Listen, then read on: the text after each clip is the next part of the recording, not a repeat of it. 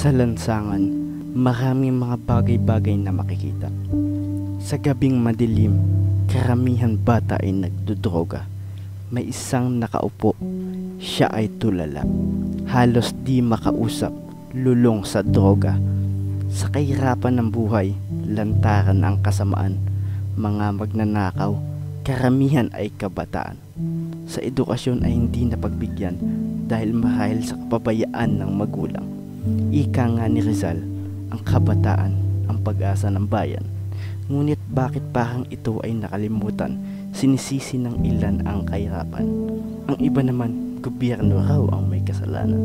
Bakit di natin simulan ang pagbabago sa mga sarili natin una itong matatamo? Ang pagbabago ay nasa atin mismo, huwag laging umaasa sa gobyerno. Naway kahirapan ay mabawasan upang krimen ay maiwasan. Buhay mo ay iyong pagsikapan nang maipagmalaki ka ng iyong mga magulang. Mag-aral ng mabuti nang hindi matulad sa iba na ang gusto lamang ay madali ang kita. Paghirapan, pagsikapan ang pagkakaroon ng pera. Ikaw rin, baka ka mahuli at maniraan sa malamig na selda.